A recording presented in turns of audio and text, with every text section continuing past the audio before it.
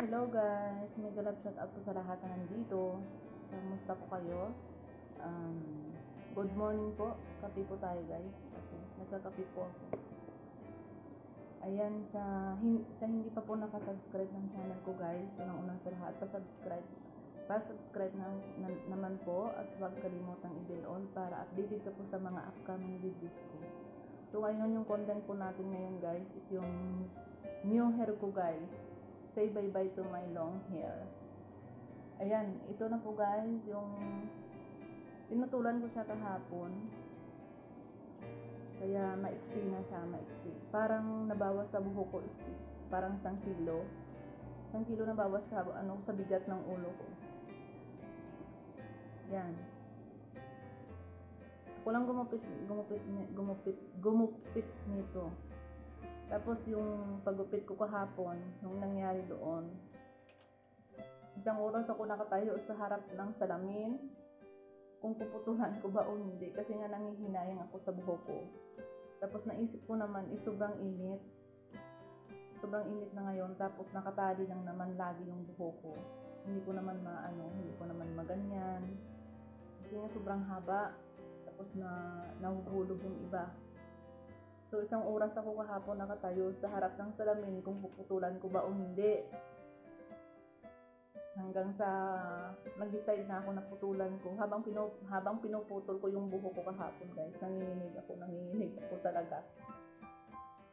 Um, kasi nga nanghihinayang ako, nanghihinayang ako sa buhok ko. Tapos yung alaga ko naman kahapon, iyak na iyak. Habang yung isa kong alaga, kasi kamba yung alaga ko, di ba? Habang inaano ko na yung payat, na natalian ko na yung buhok ko na puputulin, ganyanin ko pa lang, hinahawakan na niya yung, yung gunting. Ayaw putulan. Sabi niya, maliit lang daw. Iksi lang daw puputulan ko. Eh, mahaba pinutol ko. Parang ganun ata. Ganun. Yung isa na sa umiyak. Yung, yung payat na isa. Yung isang kambal. Tapos nung nung nakita naman ng isang mataba na to kasi yung, yung isang mataba, mataba mas, mas sensitive yan eh.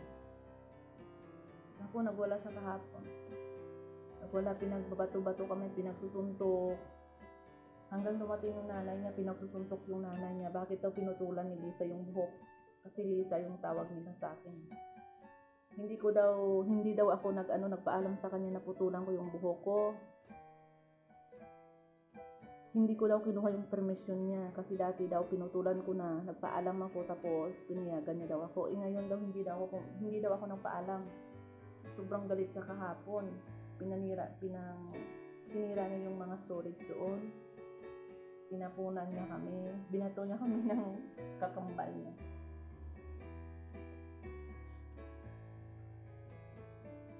Kasi po. So, ayan na nga guys. Ay, so, ayan na nga guys yung new look natin ngayon. Ayan. Ako lang pumutol. Ayan. Ganyan yung sa dito sa isang side. Sa ilang side. Hindi mo rin siyang ganyan eh.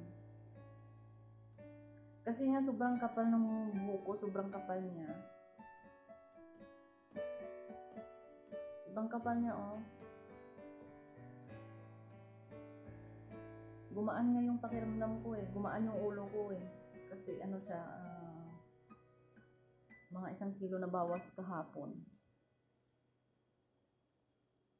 So, ayan. Yan na yung new look natin. Yan yung hair natin. Pero pag naalala ko yung hair ko na, na yun, na ano rin ako, nang hinayangan din ako eh. Mahaba na kasi yun, mga ano ata doon, mga... It's been a Pero last year pinutulan ko yun eh, pero maiksi lang, parang ganun. Ang bilis na kasi mahaba. Naisip ko kahapon, sabi ko mabilis naman siya humaba, kaya putulan ko na muna siya kasi mainit. Lalo pa pupunta kami ng Lebanon. Ngayong 25 pupunta kasi kami ng Lebanon ng 25. So mas mainit din doon eh. Mainit din doon. So, so nag-decide na putulan. Hindi mo rin sa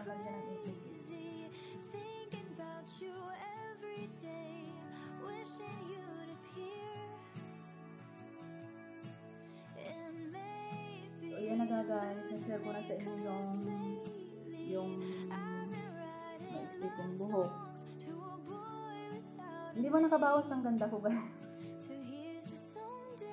Maganda pa rin ba ako? Diyos niyo.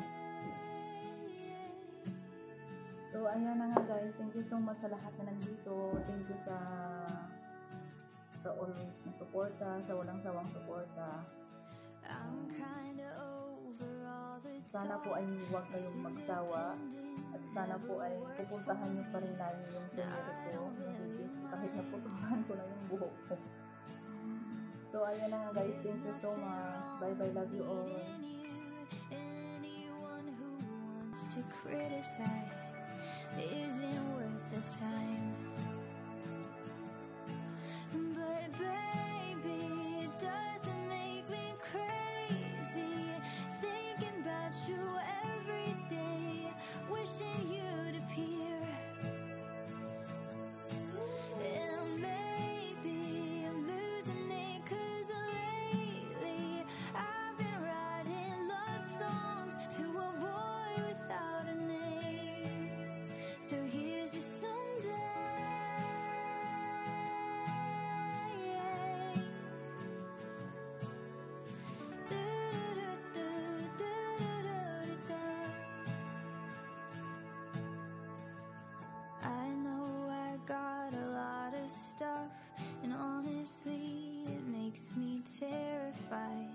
Of showing it to you.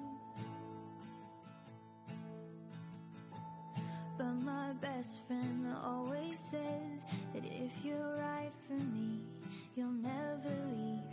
And I'm hoping that